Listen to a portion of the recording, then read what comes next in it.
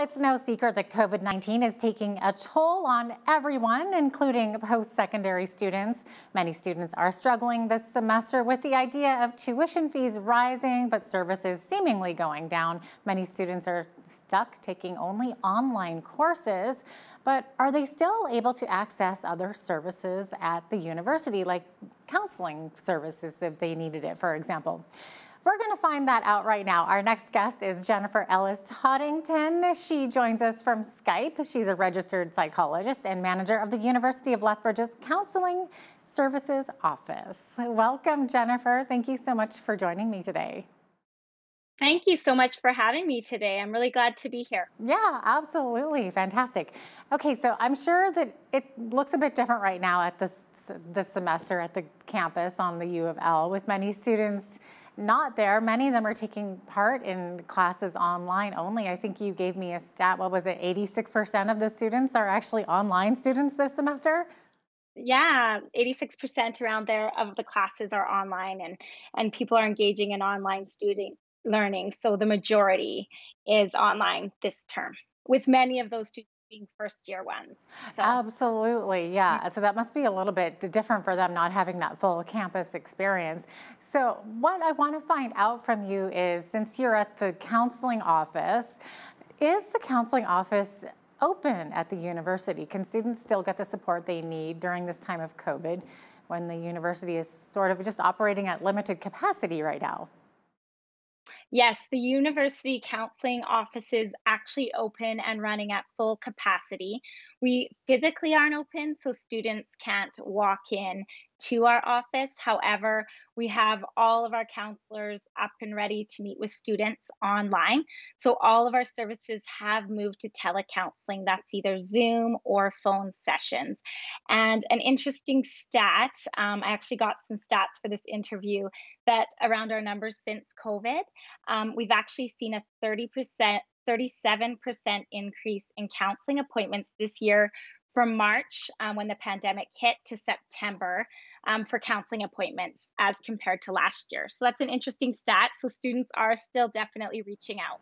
So why do you think it has increased? Do you think it's because of the, the COVID-19 pandemic? Is it causing a lot of stress, do you think? Yeah, I think um, definitely at the beginning of the pandemic, um, across uh, counseling services, there was a bit of a dip in services as students were just scrambling to kind of figure out their lives and having to go back home and you know leave residence and things like that. Um, but as the summer progressed we noticed a lot of an increase in need.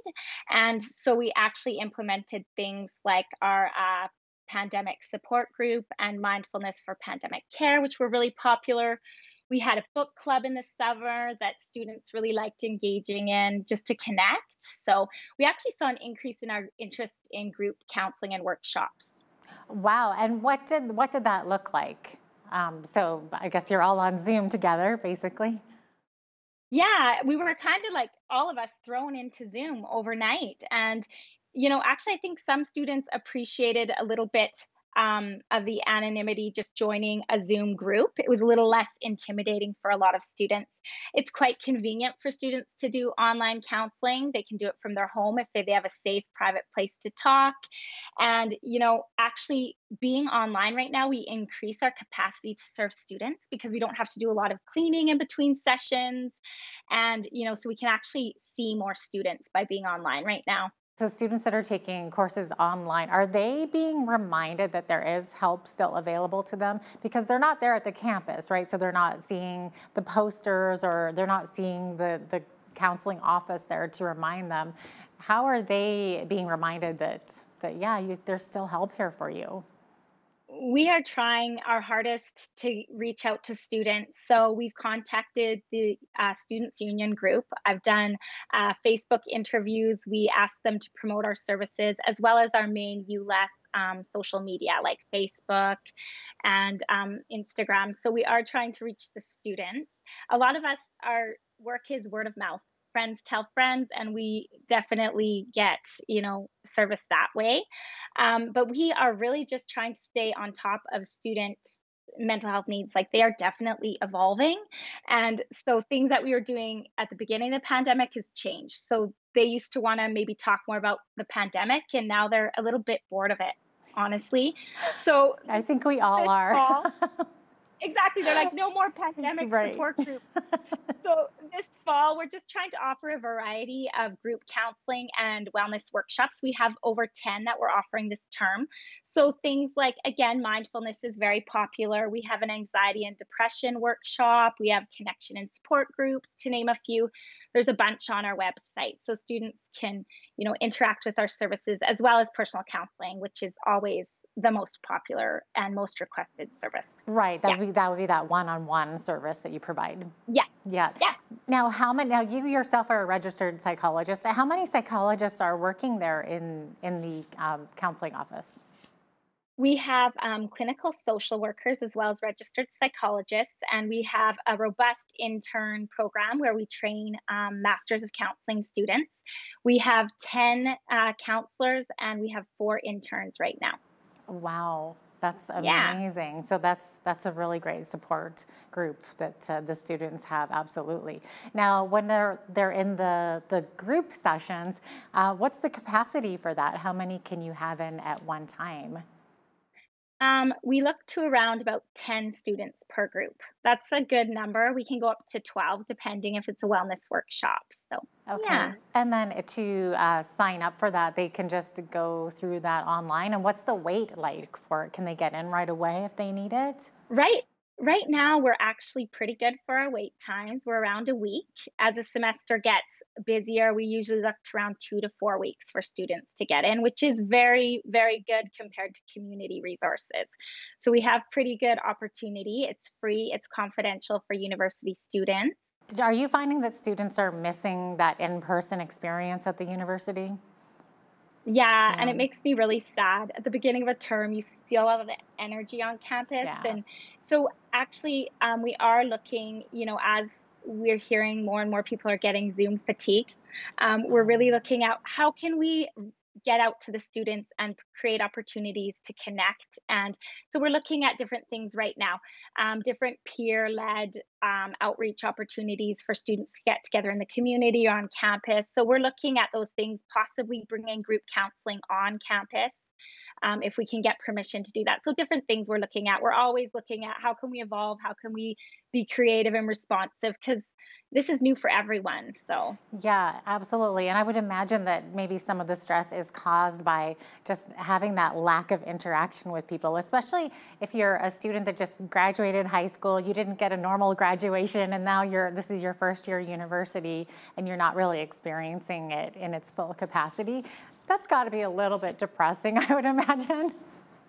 Exactly. I mean, yeah. I mean, even within our community, um, I was talking with private practitioners and community agencies, and there's a, a real demand for mental health support, and experts are predicting that. Um, and if you think about it, we've got multiple losses right? Loss of uh, rituals, loss of routines, loss of um, isolation, um, loss of connection. So, and collectively, our society, you know, is experiencing uncertainty. So those are all things that are weighing on us, plus financial stressors for students, for the whole community. So mm-hmm. yeah. Absolutely. So what what advice are you giving these students who are sort of suffering from that lack of connection and that are coming in with these issues? you know it's tough it's tough as professionals because we're all experiencing it as well so i think just listening um, supporting um, helping them get creative um, around what they're doing to promote their mental health. You know, used to have these things. What could you do now? Um, a big thing is creating boundaries and regular routine. Structure is one of the best things we can do for mental health, for depression and anxiety. So, those types of things. You know, telling them about opportunities. We have clubs on campus still, they're running. We actually have this awesome um, peer led um, learning mentor program that's just started up where they're called the accountability crew. And um, they meet with students weekly to make sure they're on top of their studies. So there's so many things happening at the university. So um, and we actually have intake coordinators working in our office now who if you call if you email us or call us they do an intake right on the phone. And they'll tell you about all the different things happening at the u of l as well not just in our department but in many different departments Okay, well, that is so good to know. I didn't know there were still social activities taking place on campus. So pe people are yeah. allowed to actually, if you're a student, you can actually go there. It's not well. Like it depends. I yeah, lots of the club things are happening happening virtually. Yes. And there is restricted access to campus. There are certain areas and certain groups. So yeah, right. not not a lot of open access. Yeah. Okay. Now, what are the signs that family and friends should maybe look for if their student could be suffering from anxiety or depression? I mean, the number one thing we always say is isolating.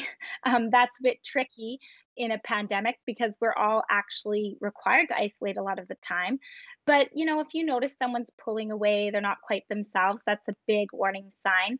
Other warning signs that we look at are low mood. Anything for over two weeks is something we would be looking at. Um, you know, crying, suicidal ideation, um, other things, somatic difficulties or physical ailments. We see a lot of that in counseling. So maybe you start experiencing sleep difficulties or aches and pains, chronic headaches, maybe extreme tiredness. Those are all signs. Um, as well as just general difficulties in regulating your emotions. Maybe your emotions are really flat, you don't feel much of anything, or you're losing it because they didn't have your bagel at Tim Hortons, right? Like really extreme fluctuations in mood, um, irritability, those types of things.